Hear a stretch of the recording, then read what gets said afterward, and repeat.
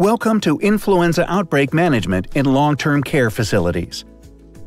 This training provides general information about influenza, more commonly called the flu, and reviews specific ways to prevent and control influenza outbreaks.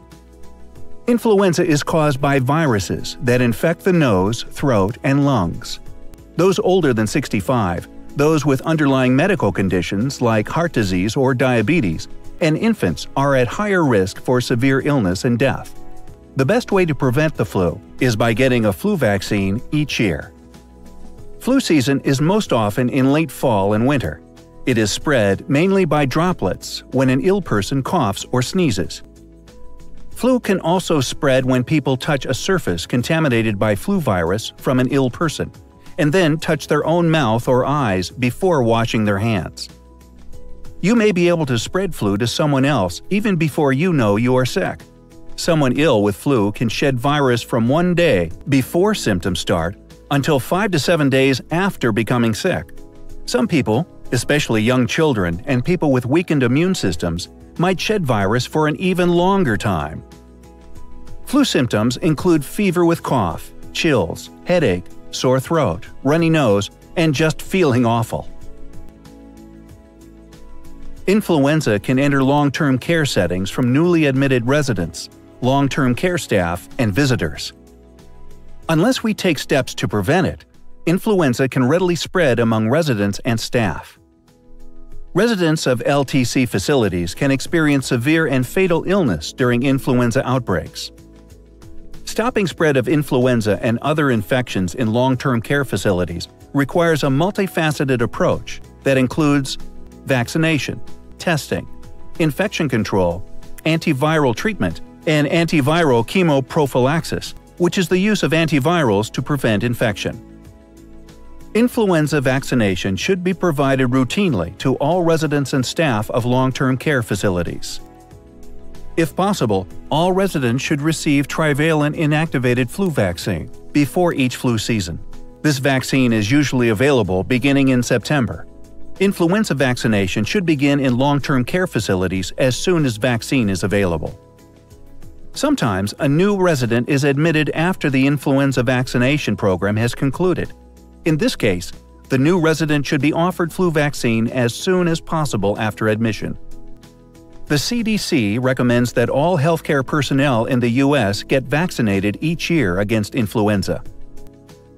Long-term care staff who get vaccinated help to reduce the following transmission of influenza, staff illness and absenteeism, influenza-related illness and death. By getting vaccinated, long-term care staff can reduce influenza-related illness and even deaths. Once flu season starts, long-term care facilities should monitor for influenza-like illness among residents, staff, and visitors. This should continue until the end of influenza season. If more than one staff or resident has influenza-like illness, notify your local health department. During an outbreak, once a single case of influenza is lab confirmed, there will likely be other cases brewing among exposed persons. Conduct daily active surveillance until at least one week after the last confirmed influenza case occurred. It's hard to distinguish the flu from other causes of respiratory illnesses based on symptoms alone. If influenza-like illness appears in your facility, get testing done early. Flu outbreaks also sometimes occur outside of the usual influenza season. Influenza testing should occur when any resident or staff member has signs and symptoms of influenza-like illness. When there is laboratory-confirmed influenza along with other cases of acute respiratory illness in a unit of a long-term care facility, an influenza outbreak might be occurring. Any outbreak of influenza-like illness in a long-term care facility should be reported promptly to your local health department. Test for influenza in the following ill persons in affected units and in other areas of the facility. Persons who develop acute respiratory symptoms more than 72 hours after beginning antiviral chemoprophylaxis. Note: Elderly persons and other long-term care residents may have atypical symptoms with influenza virus infection and may not have fever. Ensure that the laboratory promptly notifies the facility of any positive test results. Notify your local health department of any suspected or confirmed influenza outbreak in your facility, especially if someone develops influenza during or after antiviral chemoprophylaxis. Infection control.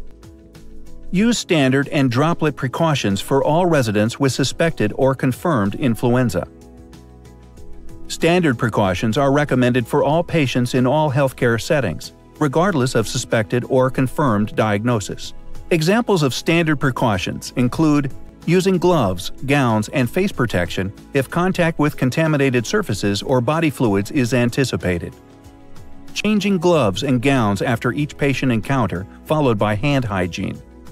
Performing hand hygiene before and after touching patients, their environment, or when applying and removing gloves. Droplet precautions. Use droplet precautions to supplement standard precautions and prevent the spread of respiratory pathogens such as influenza. Use droplet precautions for residents with suspected or confirmed influenza for 7 days after illness onset or until 24 hours after resolution of fever and respiratory symptoms, whichever is longer. Give ill residents a private room if available, or place residents with influenza together this is known as cohorting. Residents with influenza-like illness should be in droplet precautions. That is, staff caring for them and those who visit them should wear masks at all times within 6 feet of the patient. Masks should be removed and disposed of when leaving the room, and hand hygiene performed. Residents who need to move outside of their room should wear a mask. Other important infection control measures during an influenza outbreak include isolation or cohorting of ill residents, screening employees and visitors for illness, sending ill staff home until they are no longer contagious, and discouraging ill visitors from entering the facility. People with influenza may continue to shed virus while on antiviral treatment, so standard and droplet precautions should continue while the resident is taking antiviral therapy.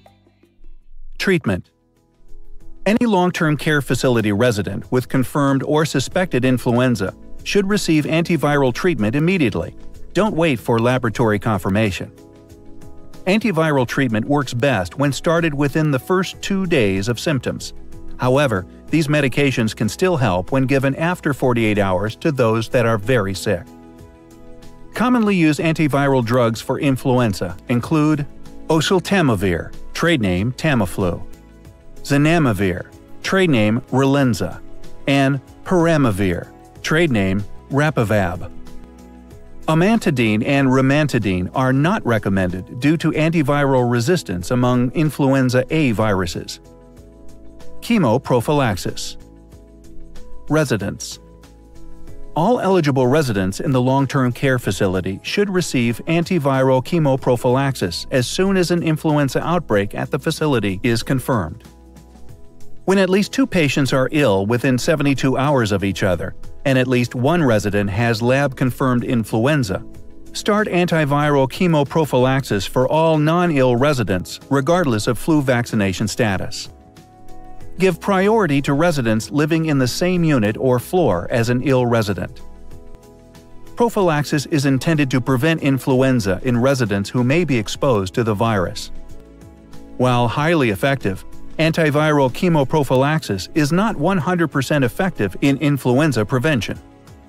CDC recommends the prophylaxis continue for at least two weeks and for at least seven days after the last known case's symptom onset. Personnel Consider chemoprophylaxis for employees, regardless of their influenza vaccination status, if the outbreak is caused by an influenza strain that is not well matched by the vaccine. Drug-resistant strains can develop. If residents receiving antiviral meds don't respond to treatment or become sick after starting chemoprophylaxis, notify the health department. Additional measures to consider. Here are additional measures you can use to control long-term care facility outbreaks. Have ill residents stay in their own rooms as much as possible. During the outbreak, avoid group activities. Consider serving all meals in resident rooms when the outbreak is widespread. Avoid new admissions or transfers to wards with symptomatic residents. Post notices limiting visitation and exclude ill persons from visiting the facility. Post signs reminding people to wash their hands and to cover their coughs if ill. Monitor staff absences due to respiratory symptoms and exclude those with influenza-like symptoms from work until at least 24 hours after fever resolves. Restrict personnel movement from affected areas of the facility to unaffected areas. Having an effective infection prevention and control program at your long-term care facility is key in preventing and managing influenza outbreaks. Every long-term care staff member plays an important role. By working together, we can reduce influenza illness in long-term care facilities among residents as well as staff members.